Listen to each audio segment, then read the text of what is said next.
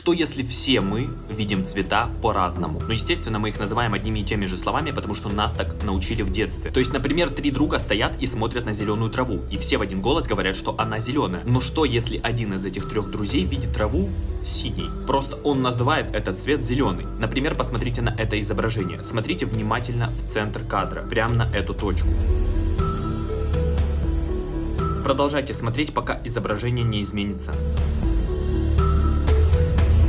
Сейчас изображение покажется вам цветным, но теперь отведите взгляд и поймите, что оно на самом деле черно-белое. Я не знаю, насколько это может быть правдой, напишите, что вы думаете в комментарии.